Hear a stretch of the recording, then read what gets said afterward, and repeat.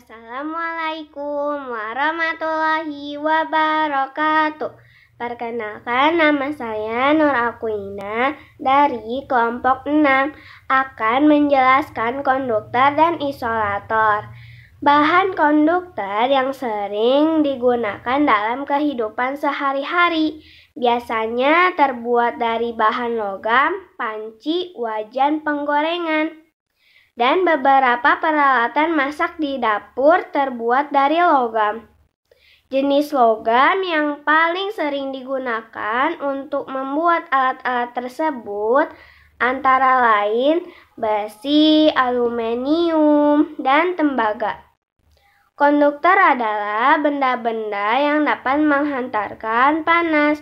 Contoh konduktor listrik yang dimanfaatkan dalam kehidupan sehari-hari adalah tembaga sebagai isi kabel untuk menghantarkan listrik sedangkan isolator adalah benda-benda yang tidak dapat menghantarkan listrik. Wassalamualaikum warahmatullahi wabarakatuh. Assalamualaikum warahmatullahi wabarakatuh. Perkenalkan nama saya Satria Permana. Saya akan membacakan tentang isolator.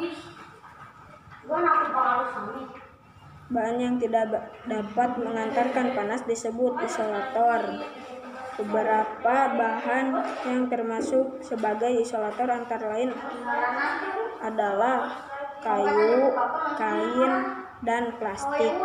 Penggunaan bahan-bahan ini banyak sekali dijumpai di sekitar kita penggunaan bahan konduktor dan isolator dapat diterapkan secara bersama pada sebuah alat panci yang biasa digunakan sebagai konduktor ada ada yang berfungsi sebagai isolator.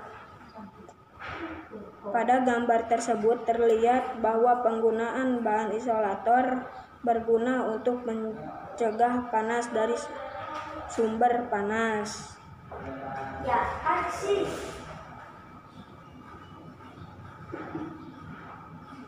Dialirkan ke pengguna panci, aliran panas berhenti pada bahan isolator karena bahan tersebut tidak dapat mengalirkan panas secara konduksi dari sumber panas sehingga penggunaan bahan isolator terutama untuk melindungi pemakaian alat agar tidak kepanasan dan dapat menggunakan alat tersebut sebagai mestinya.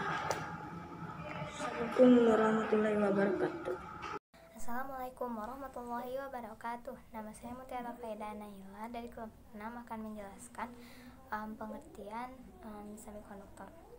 Pemilihan, pemilihan bahan didasarkan. Pemilihan bahan didasarkan yang dimiliki yang dimiliki bahan tersebut. Misalnya benda yang tidak dapat menghantarkan panas dan benda yang dapat menghantarkan panas Sedangkan ada bahan yang sedikit dapat mengantarkan panas disebut dengan semikonduktor.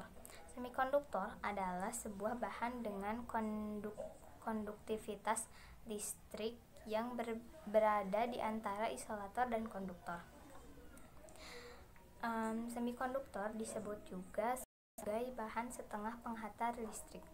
Bahan konduktor yang sering digunakan adalah silikon, germanium, dan gallium arsenida.